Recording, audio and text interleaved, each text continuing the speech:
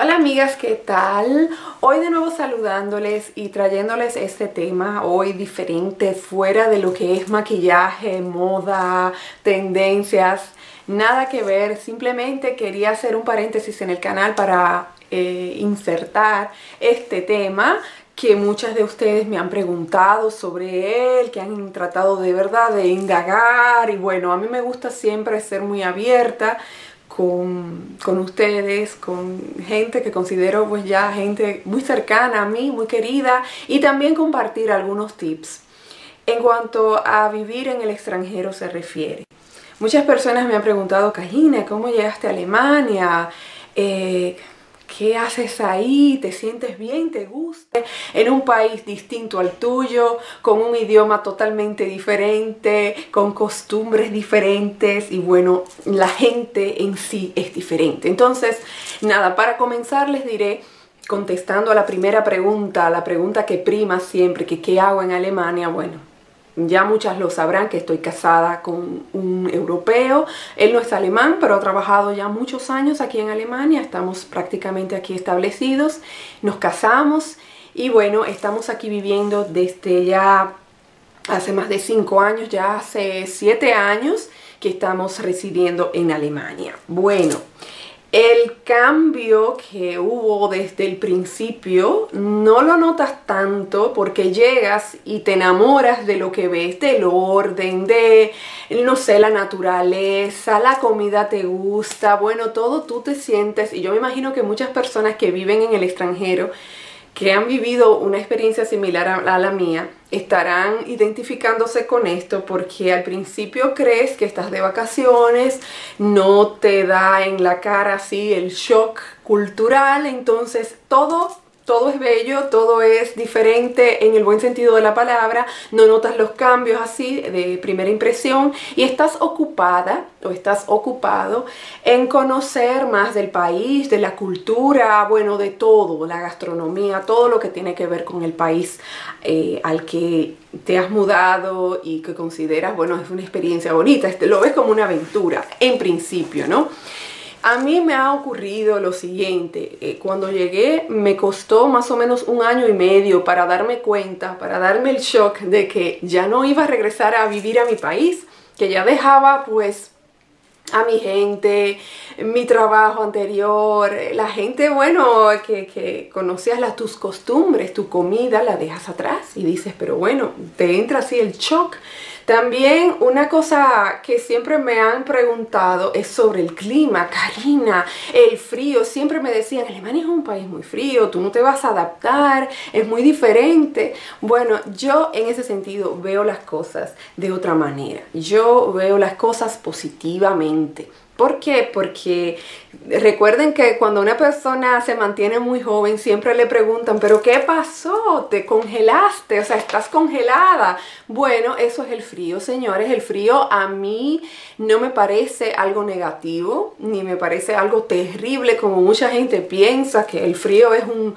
como le dicen en mi país, que es un cuco, que es un monstruo. No, no, señor. Yo estoy muy contenta con el frío, ya incluso cuando estamos así como ahora, que estamos disfrutando del verano, eh, a mí me hace falta, a mí incluso me hace falta, lo extraño, el frío. Entonces, es algo que he afrontado y lo cual ya pues creo que, que he aceptado y me siento adaptada. Ahora, hay otras cosas que te voy a aconsejar. Si tú, por ejemplo, te mudas a un país frío a un país eh, diferente al tuyo en cuanto a, cultura, a, idioma, se refiere, es que cuando llegues no te sientes y cruces Esto nos pasa a muchos que por ejemplo decimos, bueno, voy a encontrar una pequeña comunidad en ese país que va a hablar inglés y no voy a tener problemas porque yo me voy a comunicar en inglés, ya sea en China, en Japón, en Alemania, en Suecia, Dinamarca, donde sea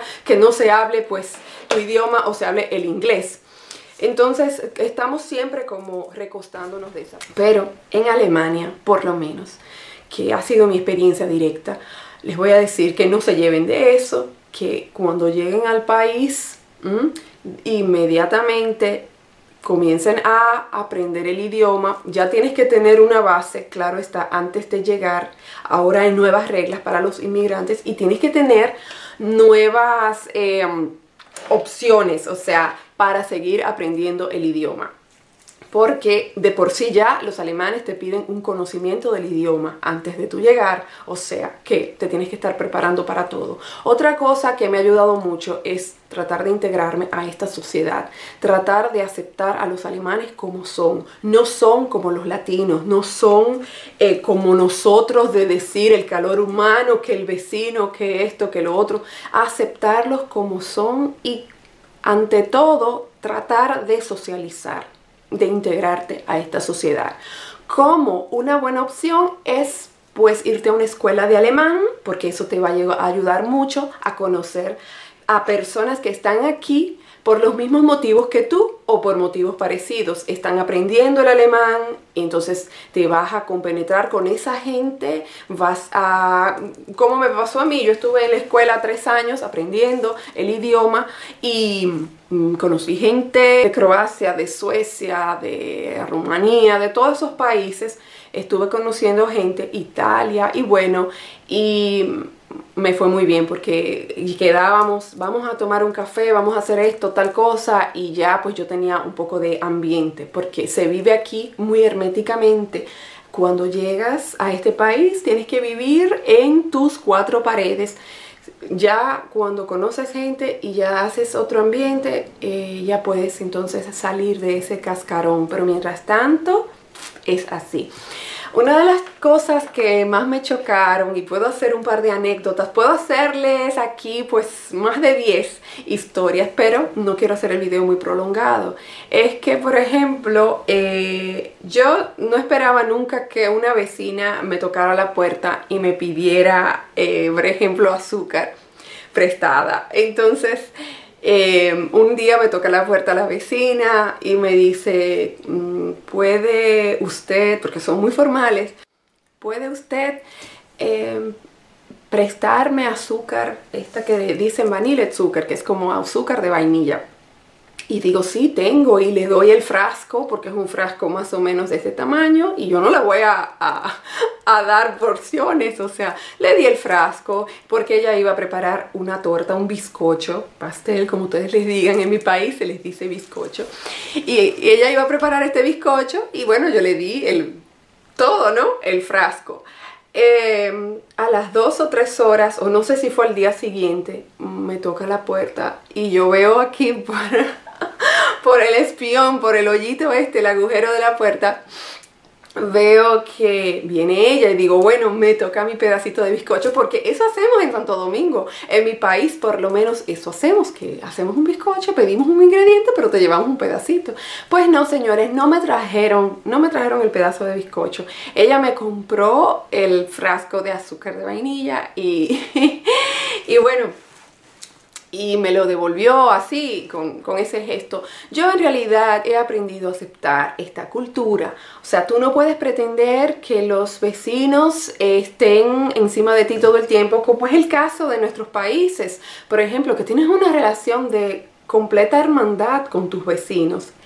Señores, aquí no es así, prepárense, prepárense primero les digo que se preparen para afrontar el idioma, para poder dominarlo bien, lo más que puedas. En segundo lugar, tienes que aceptar a la gente como es y tratar en todo momento de ser educado, educada, de ser cooperador, de integrarte, integrarte. No pretendas vivir en tus cuatro paredes. Mucha gente piensa que para mí fue muy fácil venir a Alemania y adaptar. Tú me mandas quizás al Japón y yo trataré de adaptarme y vivir pues lo más amenamente posible y tratar de integrarme a la sociedad. Pero en ese proceso, la transición, quiero decir, es muy difícil.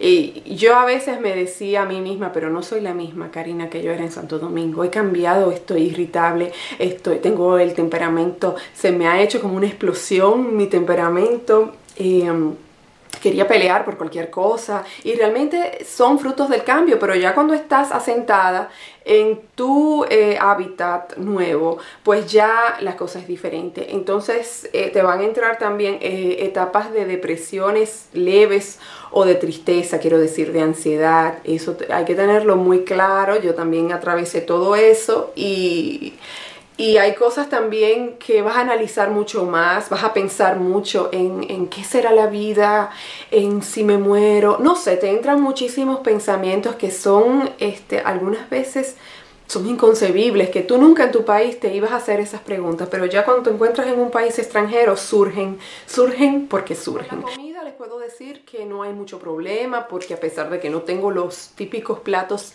de mi país aquí al alcance, yo trato de cocinar eh, lo más parecido a, a, lo que es la comida dominicana, pero no todo el tiempo, porque también hay que hacer como un 50-50, 50%, de tu país, un 50% del país donde te encuentras, porque no te debes olvidar de la palabra integración. Tienes que integrarte. Eso es lo que voy a hacer eh, más, más hincapié en este video y es de integrarte al país donde te has mudado. Tienes que hacerlo por obligación porque si no te veo en pocos meses preparando tu maletita y regresándote a tu país o yéndote a otro lugar. Entonces, muy importante lo del idioma y aceptar también las costumbres. Una anécdota que les tengo mm, para mí pues muy cómica, pero en, cierta forma es como triste en el fondo, porque eh, cuando mi niña estaba pequeña, bueno, estábamos recién mudadas aquí a Alemania y mi niña estaba pequeña y fue invitada al primer cumpleaños eh, aquí, bueno, un cumpleaños de una amiguita, de una vecina y en mi país, en República Dominicana, no sé si en otros países, en España o en el resto de Latinoamérica se utilice esta costumbre, pero a ti te invitan a un cumpleaños y tú puedes llevar a tus padres, o sea, la mamá te acompaña o sea, como niño la mamá debe acompañar a su hija o a su hijo. Bueno, pues yo me cambio, arreglo, ¿no? Trato de salir lo más presentable posible para ir con mi hija al cumpleaños y cuando llevamos ya el regalito en la mano, tocamos la puerta, ¿no? El timbre y ¡pum! abre la puerta la madre de la niña y aquí este grupete de niños ahí en el fondo se ven y yo no veo padres y Ah, bueno, me dice la señora, bienvenida, no sé. Bueno, ¿a qué hora usted piensa venir a buscar a la niña? Ya a partir de las 6 de las 18 horas estamos eh, ya recogiendo, estamos terminando. O sea que dándome una idea de a qué hora iba a recoger a la niña, pues me quedé así, pasmada, cambiada y todo para la fiesta y no me tocó. Y, y ya después me di cuenta de que aquí no se usa eso.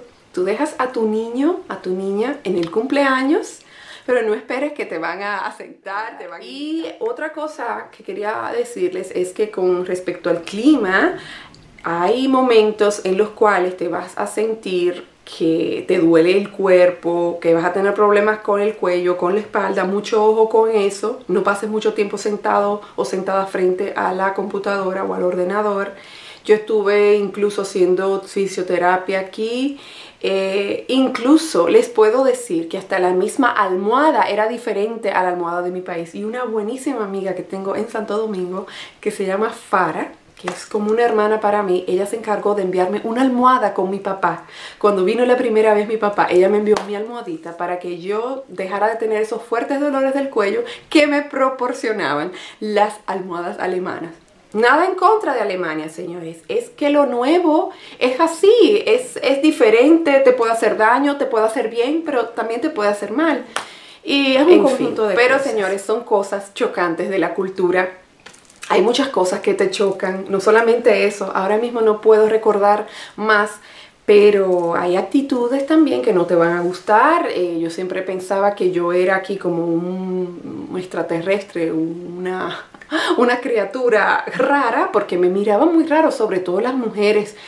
Te miran que tú piensas incluso como que te tienen odio o, o sientes cierto rechazo. Eso me pasaba, me pasa todavía y ya yo no le pongo mucha atención porque a las cosas negativas realmente no se les puede dar tanta importancia. Tú tienes que pasar, pasar de ellas y vivir tu vida lo más contenta posible.